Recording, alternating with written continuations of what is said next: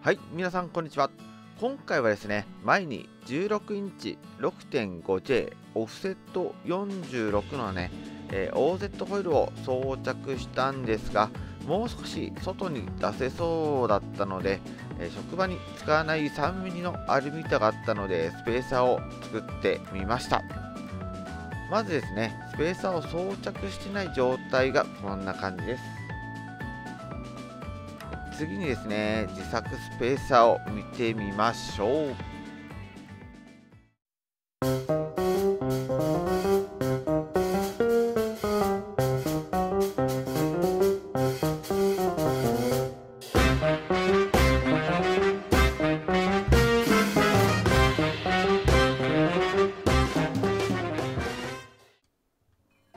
はいこちらが自作スペーサーです。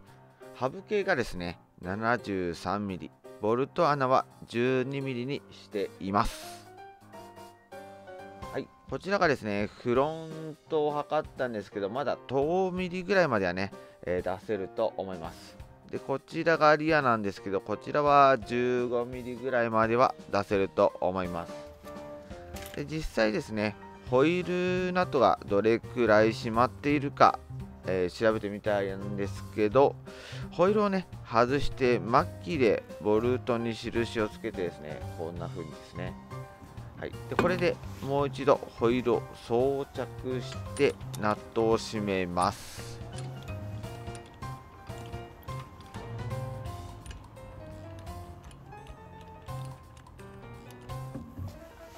でナットを外してですねホイールを外すとですねまあ、こんな感じで印つけたところが境目になってですね残ってるところまでですかね。はい。ナットが閉まってるところですね。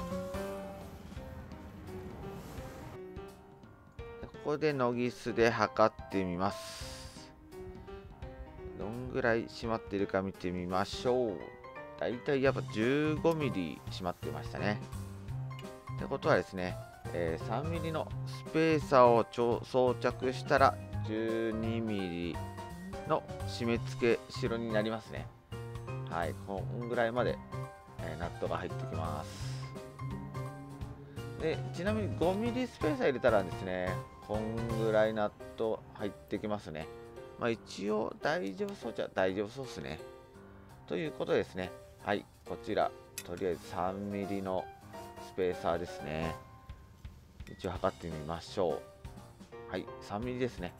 じゃこれを装着していきたいと思います。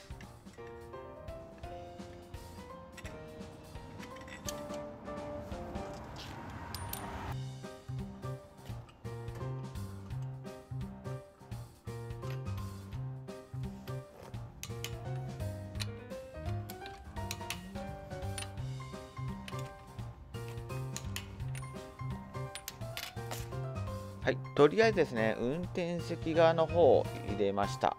こんな感じですね。で、助手席側はスペーサー入れてない状態です。はい、見比べてみるとこんな感じですね。3ミリでも意外と外に出た感じがするので、一応ね、見栄えも良くなったと思います。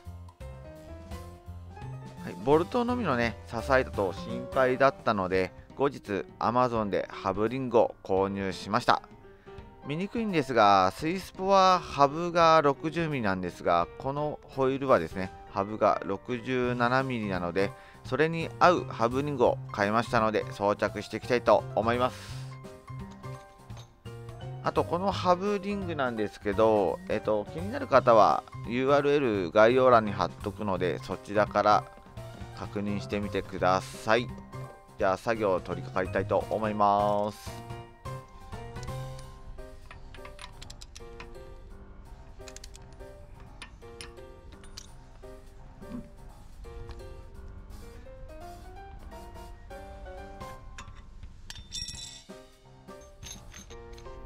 はい、こちら購入したハーブリングですね。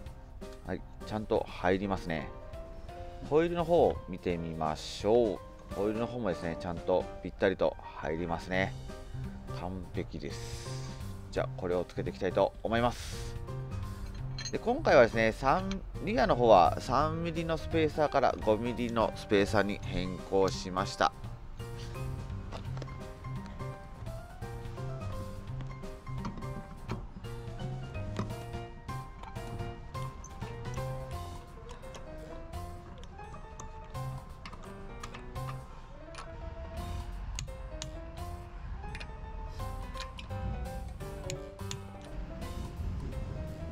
はい 5mm のスペーサーですね。ちょっと覗いてみましょう。こんな感じです。まあまあ分厚いですね。後ろから見た感じだとまあこんな感じです。まあちょっとまだリアは中入っちゃってますね。じゃあ今度フロントもハブリングを装着していきたいと思います。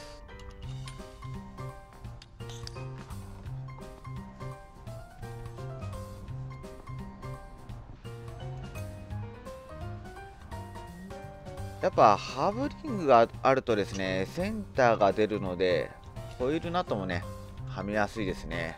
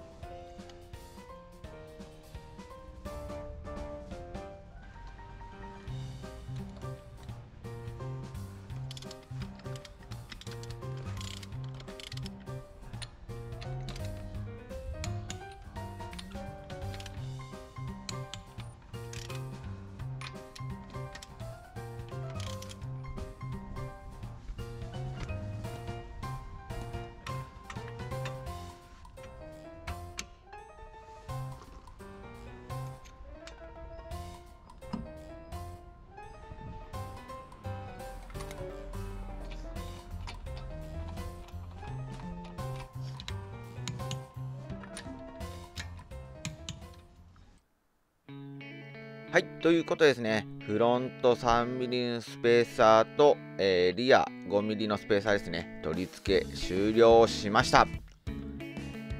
はい、こんな感じですね。まあ当たり前なんですけど、3mm 入れているよりは 5mm の方がね、2mm 出ているので、リアは 5mm でもいいかなと思います。5ミリでもね、中には入っちゃってるんで、あとは 6.5J から 7J にするか、オフセットをですね、42にすればいいかなと思います。一応ですね、あと、リア5ミリ入れた理由なんですけど、フロントと違ってですね、リアはトラクションがかからないので、まあ、ハブボートも10ミリ噛んでるということなので、リアは大丈夫かなって思います。フロントはね、ちょっと怖いので、トラクションはパワーがかかるのでね、3mm の方が安全かなと思ったので 3mm にしました。まあ、ワインディングでね、無茶なことしなければフロントは 5mm でも大丈夫だとは思うんですけど、ちょっとでもね、安全を考えて 3mm にしました。まあ、安全って言ったらね、スペースー入れない方が一番なんですけどね、まあ、スペースさを入れようかなと悩んでいる方には参考になったかなと思います。はい、ということですね。今回の動画はここまで。皆さん、チャンネル登録、高評価よろしくお願いします。それではまた次回、バイバーイ